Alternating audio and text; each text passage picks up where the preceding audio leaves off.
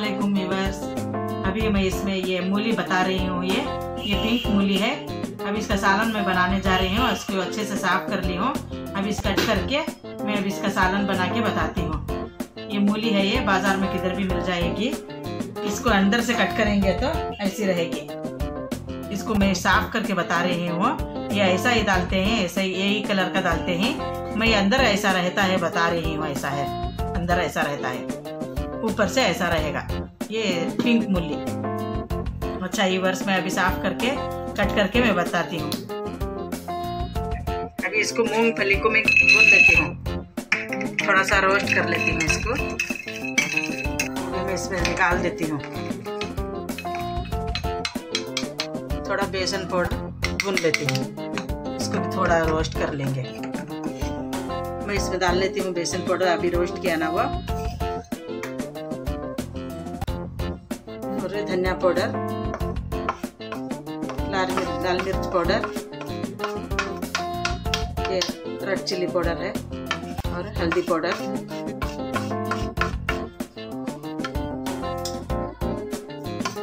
Pepper powder ये गरम मसाला, ये चाट मसाला है। ये गरम मसाला पाउडर ये जीरा पाउडर सालन में जाएगा। मूंगफली और डाल ली इसमें थोड़े ही ये डाल लेते हैं। इसके छिलटे अच्छे से निकाल लिए। थोड़ा हरा धनिया, दो ग्रीन चिल्ली आठ से आठ से दस करी पत्ते, चार गार्लिक पीस ये कोकोनट पीस जाएँगे। एक मीडियम साइज़ का अनियन डालूँगी। इसमें चार से पाँच से टमाटर जाते हैं। थोड़ा पानी डालूँगी। अब इसको ग्राइंड कर लेती हूँ। चार से पाँच टमाटर डाल रही हूँ। टमाटर का भी पेस्ट बना लेती हूँ इसको ग्राइंड कर लेती हूँ। दो बड़े चम्मच आयल डालूँगी। हाफ़ टी स्पून जीरा डाल रही हूँ। इसको अच्छे से रोस्ट कर लेती हूँ। पिंक मूली है ये पिंक मूली में इसका टेस्ट अलग आता है वाइट मूली का अलग आता है टेस्ट इसको पकाने का तरीका अलग अलग है। अब इसमें करी पत्ता डाल रही हूँ। कट करके डालती हूँ कभी करी पत्ता और प्याज मिक्स करके डालती हूँ। अदरक, लहसुन का पेस्ट डाल रही हूँ टू टेबल स्पून है ये। ये मूली के सालन में आलू भी डाल सकते हैं और बैगन भी डाल सकते हैं, हरे मटर, बीन्स सभी डाल सकते हैं इसमें। आपकी चॉइस से ये हरा मसाला मैं ग्राइंड किया था ना, अभी वो डाल रही हूँ। दाल को इसको अच्छे से मिक्स कर लेती हूँ। थोड़ा पानी डालती हूँ इसमें। इसको अच्छे से रोस्ट किया है। मैं इसमें दा, आलू डालती हूँ अभी। आलू डाल के आलू थोड़ा रोस्ट कर लेती हूँ। क्योंकि मूली थोड़ा जल्दी गल जाती है ना इसीलिए आलू को थोड़ा पहले गला लेना पड़ता है इसको। हरे मसाले में आलू गला लेती हूँ। थोड़ी देर गला लेती हूँ मैं इसको। लिड नहीं लगाती है, ऐसा ही गला लेती हूँ इसको। ये मसाला अच्छे से भून गया है। आलू भी थोड़ा गल गए हैं अब इसमें। मैं मूली डालती हूँ। देखिए मसाला कैसा। इसको मैरिनेट हो गया है, देखिए। इसको अच्छे से मसाला पकड़ लेता है। जो भी सूखा मसाला इसमें बचा है, वो इसमें डाल देती हूँ। और इसमें नमक जाता है। एक tablespoon, half teaspoon, lemon juice ये गरम मसाला। ये चाट का मसाला है। कश्मीरी रेड चिल्ली पाउडर एक दो टीस्पून। थोड़ा सा धनिया पाउडर। इसे अच्छे से मिक्स करती हूँ अभी। और इसमें टमाटर प्यूरी डालती हूँ अभी। थोड़ा जार वाश करके डालती हूँ पानी डाल रही हूँ थोड़ा।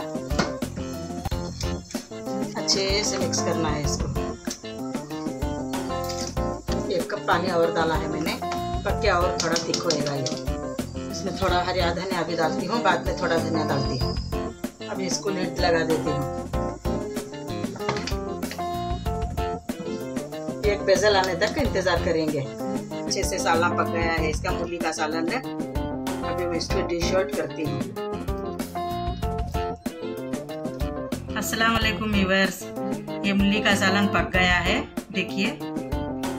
अच्छे से पक गई है। बहुत अच्छा है। टेस्ट बहुत अच्छा है, है। देखिए। ये आलू है और ये मूली है। देखिए।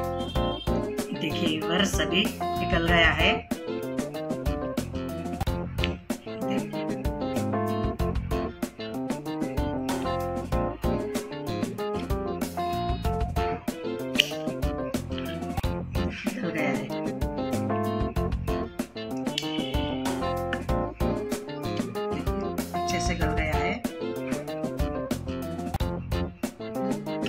खा के बताती हूँ। बहुत अच्छा टेस्ट आया है। बहुत ही लजीज बना है ये। सबको शेयर करो मेरी रेसिपी को ये। इसका सालन में बहुत अच्छी खुशबू आ रही है।